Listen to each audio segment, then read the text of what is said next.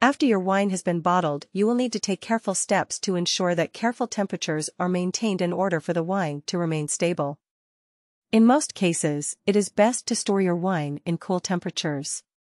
For long-term storage, most bottled wines do better when stored at a temperature of about 55 degrees Fahrenheit. The reason why it is so important to store wine at cool temperatures is because cool temperatures help to reduce the effects of oxidation. Keep in mind, however, that you do not necessarily need to obsess if you absolutely cannot obtain a storage facility at exactly 55 degrees. The improvement provided for each degree in temperature you are able to reduce in the storage area is really only marginal. Of course, a dark area that has a temperature of 65 degrees is always going to be better than an area with a lot of light that has an average temperature of 75 degrees. Being able to store your wine in an area at 55 degrees, however, would only be slightly better than the 65 degree storage area. The most important key is to try to avoid fluctuations in temperature in the area where you store your bottled wine, even if this means that area is slightly warmer than 55 degrees. Changes in temperature can be very difficult on bottled wine. Over time, temperature fluctuations will wear down your wine. Wine that is stored in an area with temperature fluctuations will take on a weak aroma and may begin to lose its character.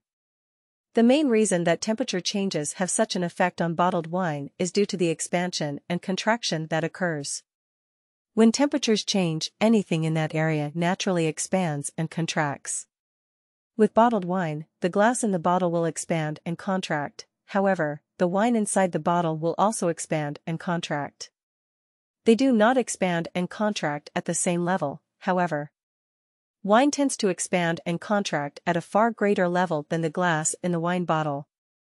The result is the buildup of pressure inside the bottle. The aroma of the wine may then seep through the cork. In addition, the expansion and contraction process can result in carbon dioxide seeping into the wine through the cork and the vacuum that is left in the process. This can result in a very bad taste in your wine. In some cases, you may not be certain whether the temperature in your storage area is stable. In that case, it is a good idea to set up a monitoring system to make sure that the temperatures are remaining stable. It is not uncommon for an area that was thought to be quite stable to have temperature fluctuations. In some cases, these fluctuations can amount to as much as 10 degrees each day. Over time, this can prove to be disastrous for your wine. Therefore, if you are not entirely certain that your storage area is consistent in terms of temperature it really is a good idea to monitor it over a period of time to make sure that the temperature is remaining consistent. Keep in mind that when monitoring your storage area, you should check the temperature at least twice a day at different times in order to get an accurate idea of whether the temperature is remaining stable on a daily basis.